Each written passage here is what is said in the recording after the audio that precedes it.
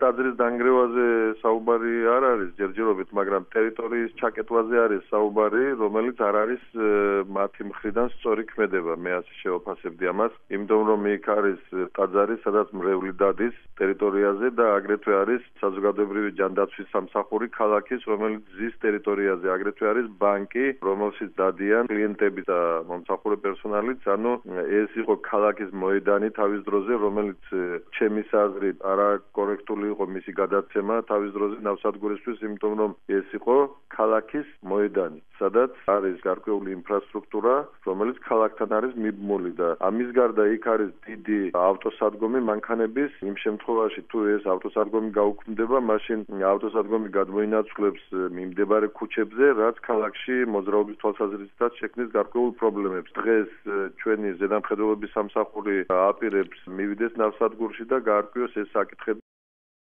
ეს ტერიტორია ეს სადაც განთავსებულია წმინდა ნიკოლოზის სახელობის ეკლესია და კიდევ არის ერთ ქალაქს ნაგებობა გადაეცა სახელმწიფოს ეკონომიკის სამინისტროს და ნავსადგურის ეხელოვნებმა ხელმძღვანელობამ ქალაქის ხელმძღვანელობასთან და ეპარქიასთანაც შეუთანხმებლად ორი დღის წინ შემოავლო აი ღობეები დადგა შლაგბაუმი და აყენა რითაც შეუზღუდა შესვლა ეკლესიის მრევლს და რა თქმა უნდა პრობლემები შეიქმნა გარკვეული. მე ვფიქრობ რომ ეს თვითონ ფორმა განხორციელებს იყო არასწორი ქალაქის ხელმძღვანელობასთან მერთან ერთად ჩვენ გქონდა საუბარი ნავსადგურის ხელმძღვანელობასთან და მას მოვთხოვე ჩვენ რომ ეს შეუთანხმებლად და უნებართოდ დადგმული შემომღობა ნაგებობები აიღოს და თუ მას რაიმე კანონიერად უნდა განახორციელოს აწარმოს შეთანხმება და მოლაპარაკება ქალაქის სამსახურებთან და ეპარქიასთან და.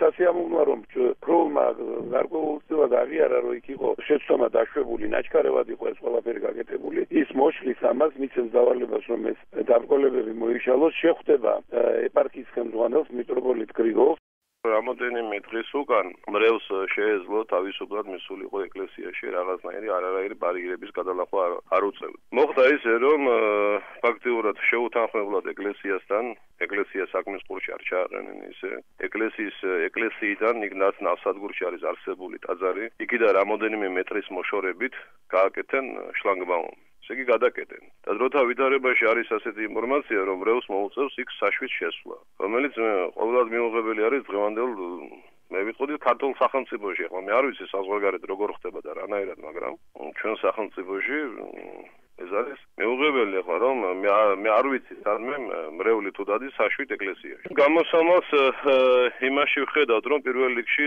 სახელმწიფო უნდა ჩაერიოს ამაში და რომ სახელმწიფო სახელმწიფო ის მიწა რომელიც ახლა ეკლესია არის აშენებული გადასცეს საპატრიარქოს პირველ რიგში აი ეს საკითხი უნდა მოწესრიგდეს. მეორე რომ იშლანგმაომი რო გაკეთდა არ ვიცი როგორ და რანაირად და ალბათ სახელმწიფო უნდა მოსხოვოს რომ თვითონ ჩვენ ვიცით რომ ჩვენი ქვეყნის მთელი ისტორია, მთელი გზები არის თავდადება. მე ვიტყოდი, იმიტომ რომ 100000 მოწამე არავის არ ახავს როგორც საქართველოს ისე. წმინდა ილია მართლის სიტყვები მინდა გავიხსენო. ერის ქრისტე ღმერთი ჯვარცესო ჩვენი სოდების საგამო და საქართველოს ჯვარცესო ქრისტე ღმერთის საგამო. და ამ ხელა ის მქონე ერისთვის მიუღებელი არის ის, რაც ახლა ნავსადგურმა გააკეთა. თან გააკეთა ის, რომ არ შეუთანხმდა ეკლესიას, რომ ამ ამის გადაკეთებას აპირებდა. ეს არის ერთგვარი, მე ვიტყოდი, რომ რაღაცნაირად უხეში საქციელი და დროთა ვითარებაში ალბათ გზა უნდა გამოხო, რომ რევს შეეძლოს და თავისუფლად მივიდეს ეკლესიაში. სხვა მისაღწეველი გზა არ არის, ერთადერთი ან საშვით უნდა მივიდეს, ასენი ასენი ესენი ასე ფიქრობენ, ან უნდა გადაფრინდეს და ახლა მრევლი ფრენას ვერ გაიცნობს.